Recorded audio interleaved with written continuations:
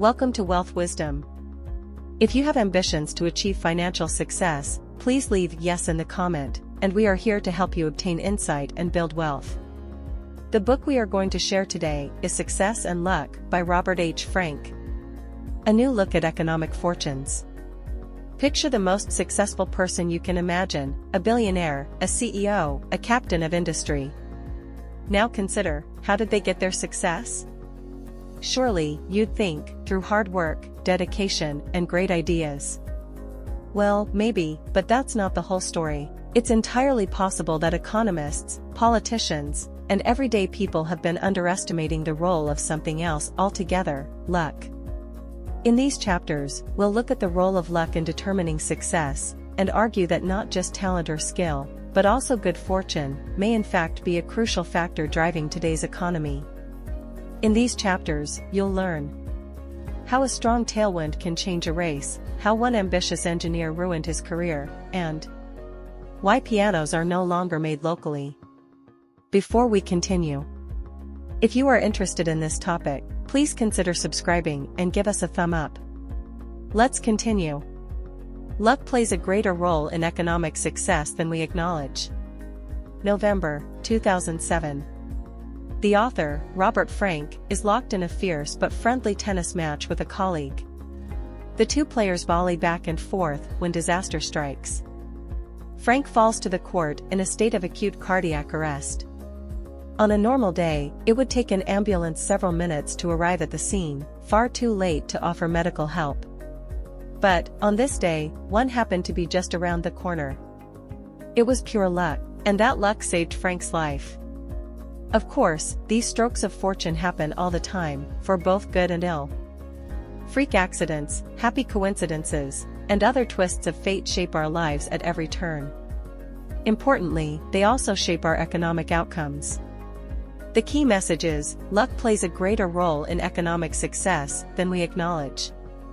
There's an enduring myth in our society that those who achieve great economic success do so through hard work, dedication, and great ideas. This is meritocracy, and it says that those who rise to the top deserve their position, power, and prestige. Meanwhile, those at the bottom also deserve their status, because they didn't try hard enough. But, there's a problem with this logic.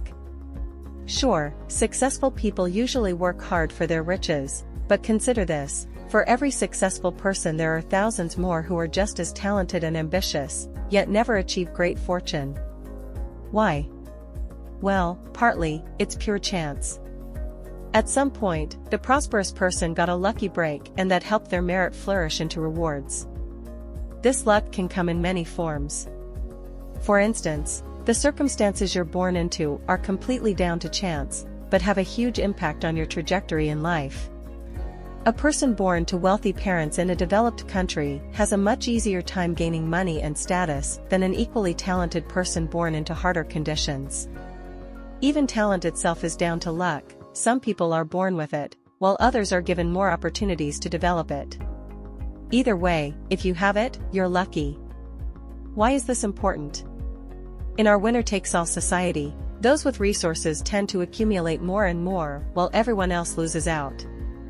If we keep up the myth of meritocracy, then the rewards will just keep going to a lucky few at the expense of everyone else. A magnificent career can depend on a series of lucky breaks. In the 1940s, sociologist Paul Lazarsfeld conducted an experiment on human credulity.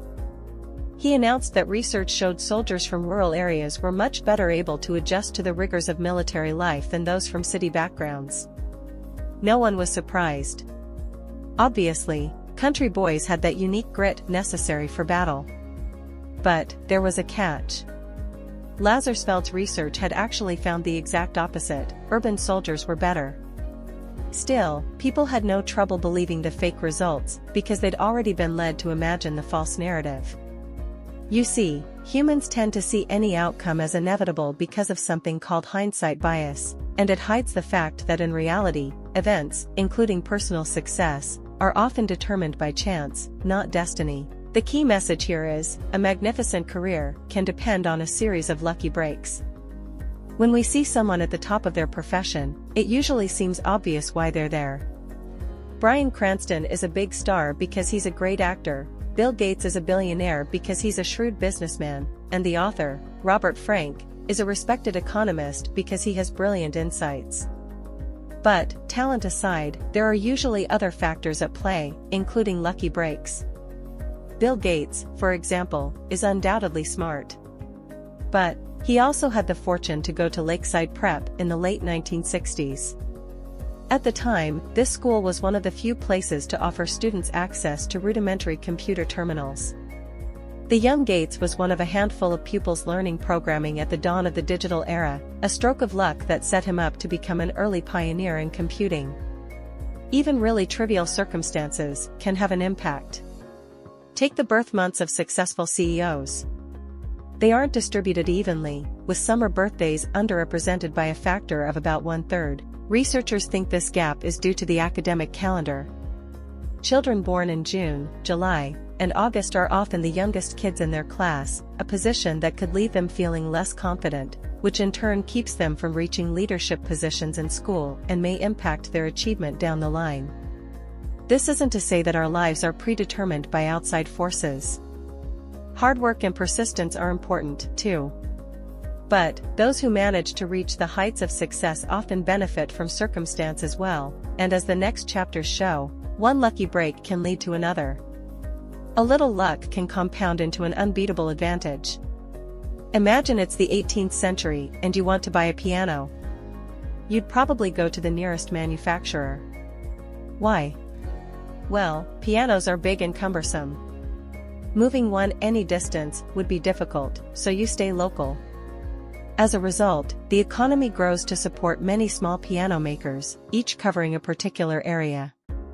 Enter trains, cars, and shipping containers, and now, local sellers must compete with piano makers all over the world. People only buy from the best, so a few outstanding companies soak up all the business, and the rest go bankrupt. It's a classic example of winner takes all. What determines the winner? Yes, skill and talent. But, if one factory has access to the finest, most resonant wood, that's a bit of luck that might just give them the edge. The key message here is, a little luck can compound into an unbeatable advantage. Some economists argue that a person's income is determined by their human capital, their skills, education, intelligence, and other individual characteristics. These assets determine how much value that person has in the job market. But, this isn't strictly true. After all, today's highest earners rake in magnitudes more money than previous generations, yet the jump doesn't match a huge increase in raw ability. Instead, today's inequality can be partially explained by improved technologies and expanding markets. Digital communication and worldwide logistics operations allow companies to compete everywhere. Any company with the slightest edge will eventually dominate, making huge profits and those profits translate to absurdly high salaries for CEOs and other high-status people. Importantly, the slight edge that determines success is often up to chance. With millions of businesses and business people competing against each other, many of them have the right qualities to succeed. So, to stand out you need some luck. With so many competitors in the field, chances are one of them will experience a one in a million spell of good fortune and that's all it takes to elevate them beyond the others. Think of it like high-level athletes in a race. On any given day, each runner has a pretty good chance of finishing with the best time. But, if one happens to catch an unexpected and uncharacteristically strong tailwind, she could finish a few milliseconds faster, just enough to win. In a winner-take-all economy, that one win compounds over time into complete domination. People have trouble seeing where luck has been on their side. Here's a fun experiment, ask any driver how they rate their driving ability. Chances are, they'll mark themselves quite highly. In fact, 90% of drivers report that their skills on the road are above average. Obviously, this is statistically impossible. Mathematically speaking, at least half of all people must be below average. That's just how averages work. Yet, this self-congratulatory pattern emerges again and again. Most teachers think they're above average teachers, and most students assume they're above average pupils. Clearly, people don't always perceive the world accurately. This is especially true when it comes to acknowledging the role of luck in success.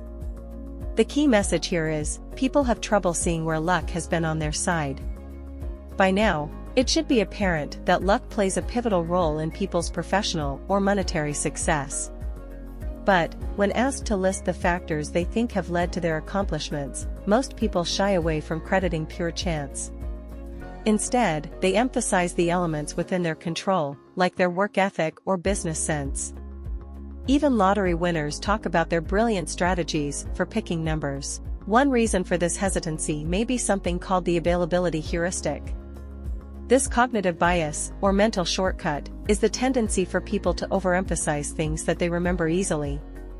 For example, when you reflect on your career, you're more likely to remember the painful or difficult moments that led you to achieve your goal. Memories of all-night work sessions are more mentally available, so you give them greater importance when thinking about the reasons for your success. In some cases, this bias can actually be helpful. Consider a student hoping to attend a prestigious university. With so many talented peers applying for the same spots, luck will be a deciding factor in who actually gets accepted. Now, if the student truly believes luck will play a role, they might have trouble putting in the work. If one bad break will keep them from their dream, why put in endless hours of studying? Still, underplaying the role of luck has its downsides, especially when it comes to larger societal issues. It can make people less sympathetic to those struggling with a bad hand in life and give the lucky few undue confidence in their abilities. We'll look at this more closely in the next chapter. To keep our society lucky, we must spread the rewards of good fortune. Meet Birkhaman Rai. Birkhaman lives in the rural outskirts of Nepal.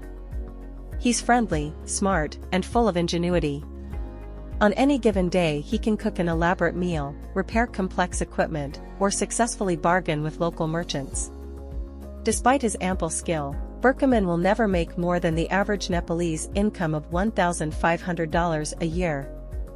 Yet, if he'd been born in a rich, developed nation like the United States, he would likely reap much higher financial rewards as a celebrated chef, mechanical engineer, or Wall Street power broker. Birkhaman's fortune depends on the circumstances of his birth. But, just because the US is currently a lucky place to be born, doesn't mean it's going to stay that way. The key message here is, to keep our society lucky, we must spread the rewards of good fortune. When it comes to achieving economic prosperity, being born in a wealthy nation is extremely lucky. Countries like the US offer the infrastructure, education system, and robust job market that make building a successful career much more likely. If we can maintain these common goods, more people will benefit from the opportunities that come from this charmed environment. Unfortunately, we're doing just the opposite. Over the last decades, the US has failed to invest in the things that make it lucky. According to the American Society of Civil Engineers, the country's roads, bridges, and sewers are in dire condition.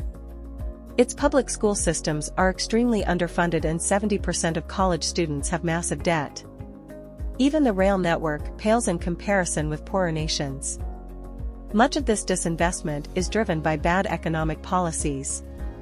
The US government doesn't spend money on important goods because it doesn't take in enough tax revenue. For instance, Bush-era tax cuts reduced federal revenue by a whopping $2.9 trillion. It's a trend that could easily be reversed by raising taxes on the wealthiest and luckiest members of our society, using their good fortune to ensure more people have the same blessings. But, the rich balk at this idea. Because we underplay the role of luck in building wealth, many rich people think their success is entirely personal.